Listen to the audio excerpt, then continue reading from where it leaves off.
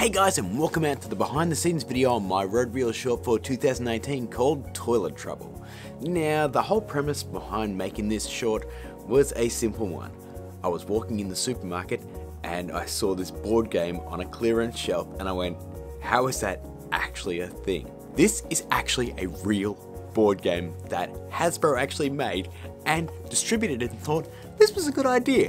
Which flush will cause the gush? I mean, this kid's getting covered in piss water. It's just, it's insane. Hell, I even bought my nephew one as a birthday present because I just thought it was so friggin' funny. So naturally, I came up with the idea that I wanted to incorporate urine into this thing somehow because it's a toilet. When I got back from the supermarket with my fresh new toilet trouble game, I went into the studio, wrote a brief outline of what I wanted to do, and then today I woke up at 6am and started shooting. Now here we are on the very, very basic set of toilet trouble, guys.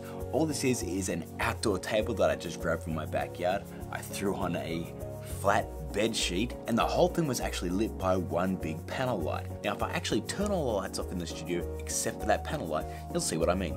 So now you can see we have our nice muted backgrounds and all the focus is on the characters in the front. I really wanted to capture something that made the background look completely irrelevant so you'd focus on all the action that was happening up the front, in spite of it actually being two people playing a toilet flushing game.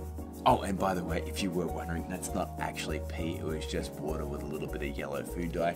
And I could not get this thing to actually squirt on me at all, so I ended up putting some in a baby bottle and just squirting myself in the face. I will say this though, that large glass, that was actually pee. And of course, once all the filming's over, we go straight to the computer, drop it all into Premiere Pro and start stitching it all together, especially those shots where Doug, the puppet, and myself are interacting because they have to be synced up properly, and then of course they have to be split screen and just masked down the middle.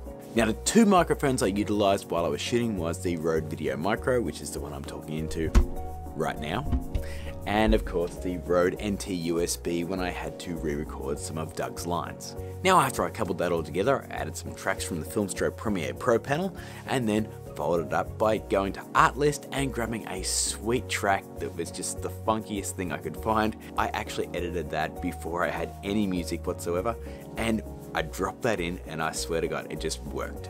So guys, that's a quick look behind the scenes on my RØDE Reel 2018 short. Now gang, be sure and click that link in the description please. If you vote for my RØDE Reel short and I get 100 votes by July 15th, I actually get a brand new microphone that's worth about 400 bucks from Rode itself. So please vote for me and I'll see you soon.